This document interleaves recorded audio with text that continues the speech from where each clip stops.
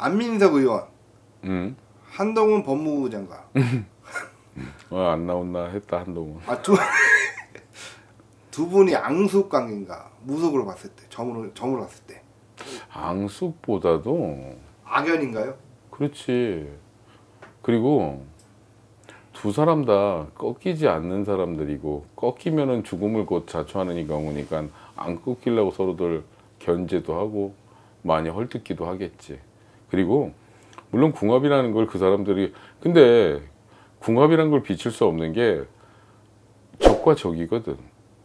그런 사람들끼리 같은 팀에 있는 사람들, 같은 당에 있는 사람을 궁합을 보는 거지 그 사람하고 궁합을 볼 수는 없는 거고 가장 큰 거는 맞지 않는다는 거지. 생각 자체가. 어떤 사람은 1 플러스 1은 2라고 할 수 있는 사람이고 또 어떤 사람은 1 플러스 1은 야근 수당 아니면은 뭐 시간 외 수당 이 일로 봐오는 사람도 있을 것이고 그런 식으로 하나의 문제를 가지고 너무 크게 보는 그런 경향이 있는 거지. 그냥 사람 자체가 틀려. 근데 틀리면서도 자존심은 갑이라는 거지. 서로들 끌어내리고 어떻게 보면 과감하게 데미지를 줘야 되는데 서로 데미지는 못 주고 안 맞는 거지. 너무 안 맞는 거지. 그러니까 그냥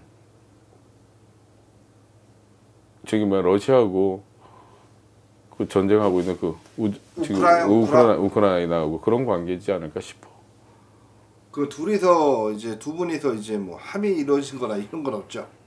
음 이- 이승에서는 어렵지 않을까?